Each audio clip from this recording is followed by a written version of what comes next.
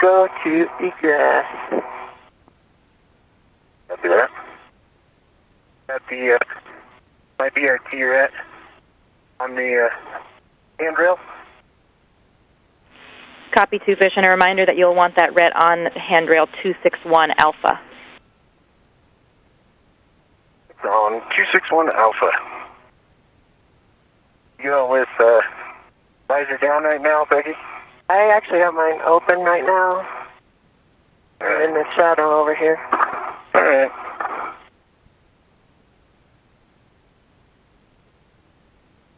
Against back. Bring it out a little bit just so I can. Yep.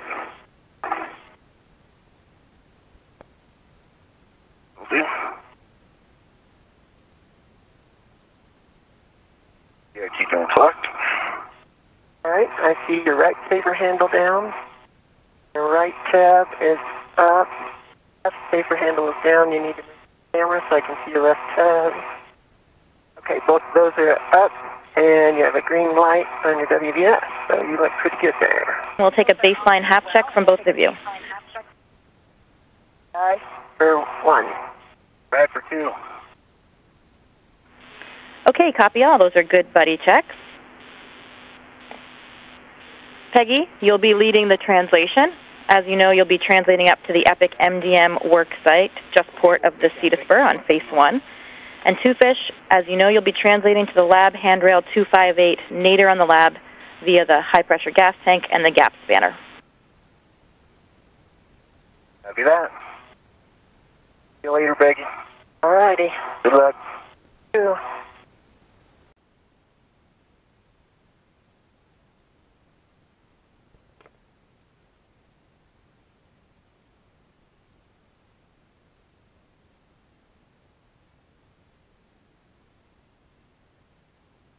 Jack, a four-man silhouette around the uh, EPFR there, next to the toolboxes. Clear to get back to the lock. Awesome, thanks.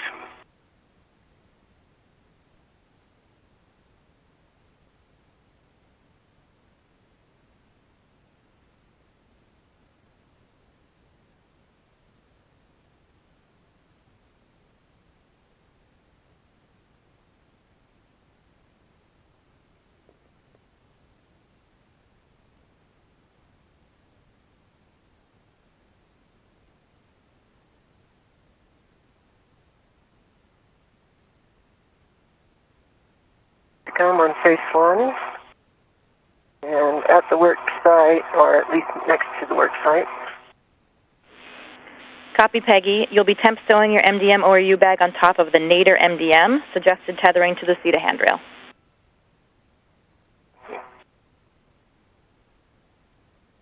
Guys, I got my green hook down on 253.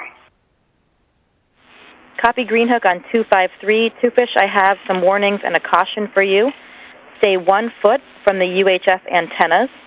Do not translate on the gap spanners, which are restraining the Node 3 lab ammonia jumpers. And a caution, when you get over to the lab forward end cone, do not use the EWIS antennas as a handrail. Copy that. Two fish, while leaving your BRT ret attached to handrail 261 alpha, you can temp stow the EWC handrail bundle over on handrail 258 using both fish stringer large hooks. Copy 258.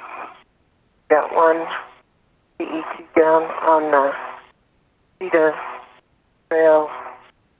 Move mine, and then I'm going to probably put the other one down just so we'll have it kind of controlled. Copy.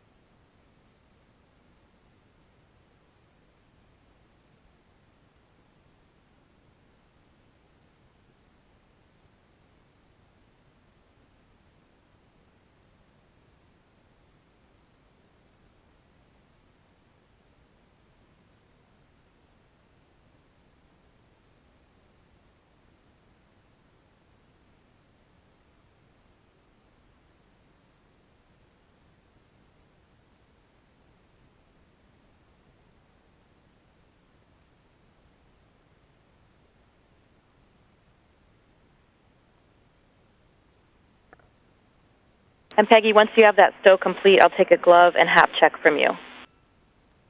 Okay, okay. Let me get it stowed so it won't impact the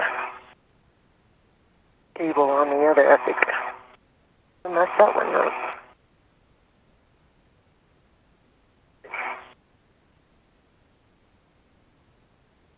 Alright, hap is still dry, and gloves are still great. No damage.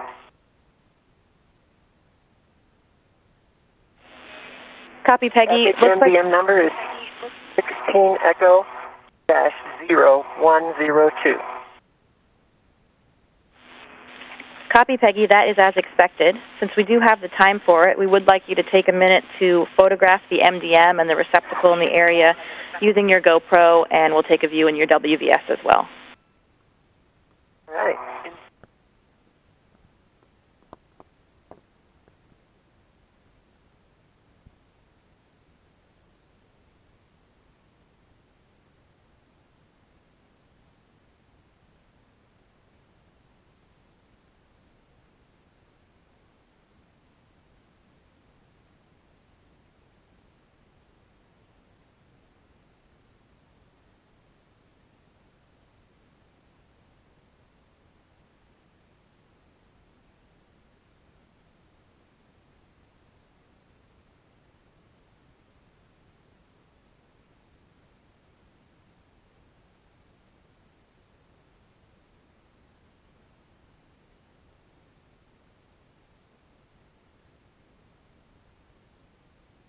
And two fish, a reminder during your stow, you'll want 262 alpha against the lab structure, since the first one you'll be removing is 261 alpha.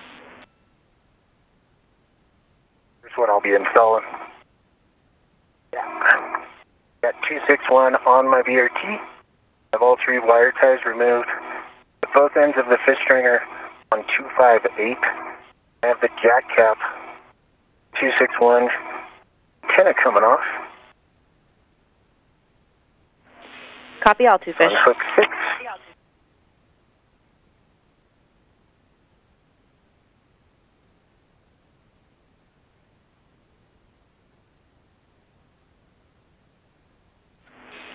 And two fish, another warning and caution for you. Once installed, do not contact the EWC antenna boom as it could spring back. And once installed, do not BRT to the EWC antenna handrails.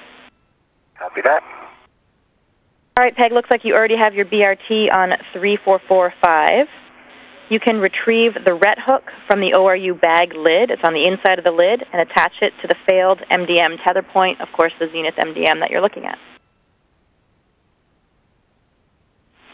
And two fish, I see you are on your way to handrail 257. Confirm. Uh, Alpha, good EMI band. I don't know if you can see it in the WVS, but it.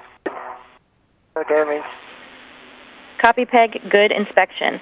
You may or may not need to restrain that Ethernet cable. Uh, suggestion you could maybe restrain that to 3445 or 3446 if it's going to be in your way for the RNR.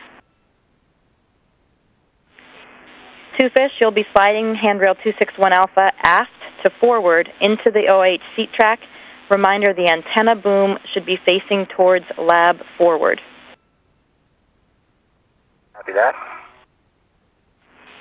And Peggy, you'll first be releasing the secondary bolts, expecting 7 to 14 turns. Copy secondary first.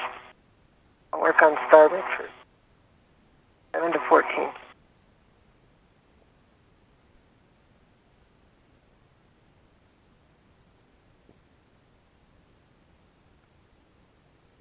It's 13 turns, and it springs back by hand. Copy Peggy, 13 turns, and the bolt sprung out.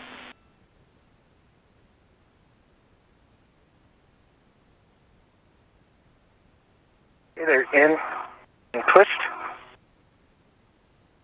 Ready for settings. Copy two fish. Your settings are alpha 2, clockwise 2, one minute from a very brief LOS. The two clockwise, two, and nine turns, right? You'll be driving those bolts 15 turns to 15 turns max to a hard stop, yes, expecting 9. The port uh, secondary bolt is out and springs back to the bed. Copy, Peggy. You can release the primary bolt, expecting 25 to 32 turns. In settings. Affirm, same setting. Um, on Bravo 1, clockwise.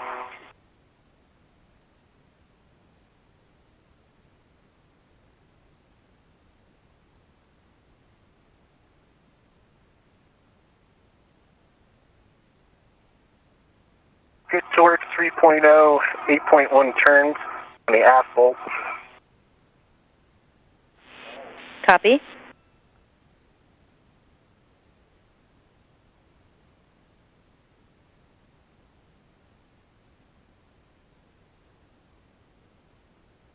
I got a low torque message after five turns. Uh, the torque is 3.5.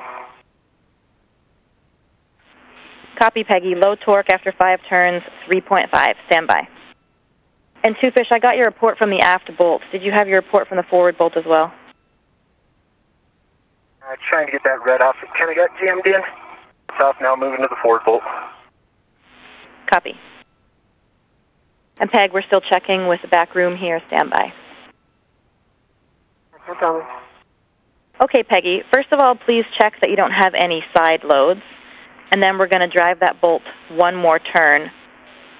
Bravo 1, clockwise 2. Bravo 1, clockwise. Bolt's done, Jessica. Good torque light 3.1 on the torque, 8.6 on the uh, turns. Copy, Two Fish. Please perform a tug test on the handrail. Turn complete. Clockwise. Copy, Peggy. One turn complete. And Two Fish, looks like you're working on releasing the cable wire tie from the antenna boom. You'll be securing that to the handrail. And did you get a good tug test? I sure did. Copy.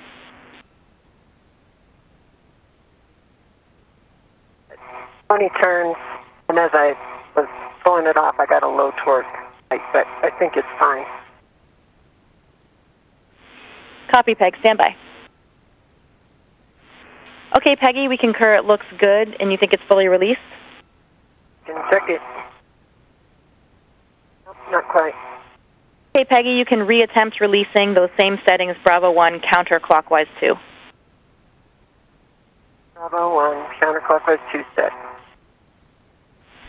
And Two Fish, please ensure that the boom aligns with the handrail base alignment marker. Yeah.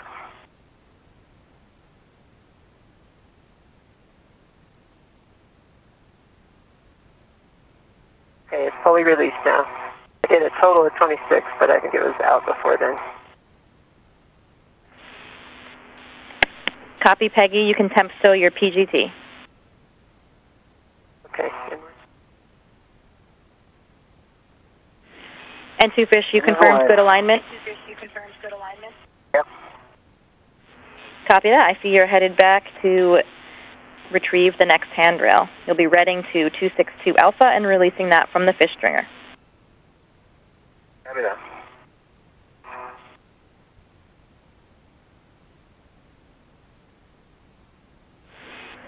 All right, Peg, you'll be sliding the failed MDM along the guide rails to remove it. And as you do so, whenever is a good time, we'll take an inspection of the blind mate connections on both the MDM and the truss side.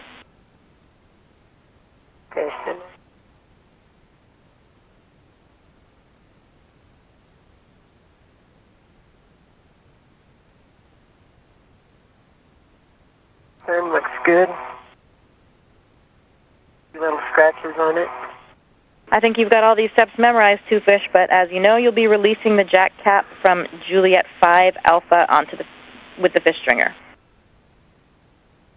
I do that inward. Jessica, I think, you know, it's called for me to BRT to um, 257. That, that was a little tricky on the last one. I'm to try uh, going topsy-turvy on this one. And uh, going to, uh, I believe it's 266